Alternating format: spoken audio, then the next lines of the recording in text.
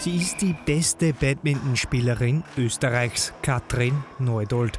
Was man auf diesen Bildern allerdings nicht sieht, die 33-Jährige ist gehörlos. Im Alter von sieben Jahren entdeckt sie den Sport für sich. Ich bin durch Schulfreunde zum Badminton gekommen. Einer war selber Spieler und die ganze Klasse ist damals gegangen. Und mir hat halt einfach die Wärme und die Gemeinschaft im Team gefallen und seitdem spiele ich eben Badminton. 2004 macht Katrin Neudold den Sport zum Beruf und das mit Erfolg. Sie ist mittlerweile fünffache Staatsmeisterin, seit 2016 unangefochtene Nummer 1 in Österreich.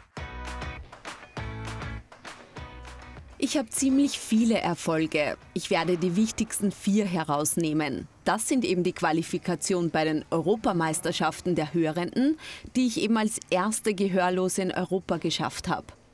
Dann zweifache Europameisterin, zweifach Vize-Weltmeisterin und vor kurzem eben die Deaflympics Silbermedaille.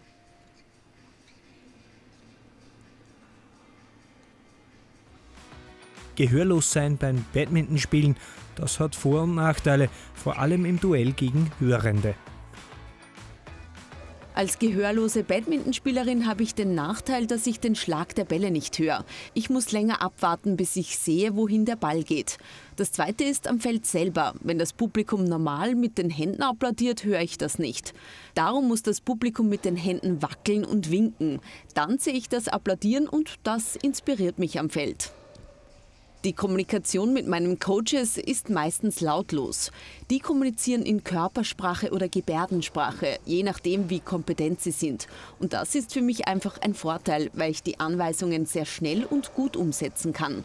Der zweite Vorteil ist, dass ich durch das gute Lesen der Körpersprache die Gegner sehr gut einschätzen kann, ob sie nervös sind, in welchem Zustand sie sind und das kann ich manchmal als Vorteil für mich nutzen. Sechs Tage pro Woche trainiert die Profi-Badmintonspielerin, heute im F10 in Linz.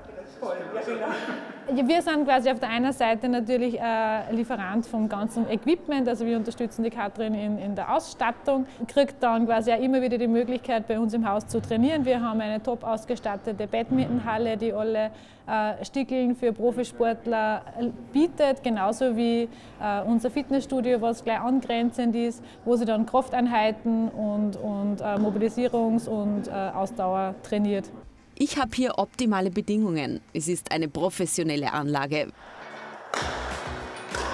Ihre Ziele sind ambitioniert. Weltmeisterin 2023, Qualifikation für die Olympischen Spiele 2024 und Gold bei den Deaflympics 2025.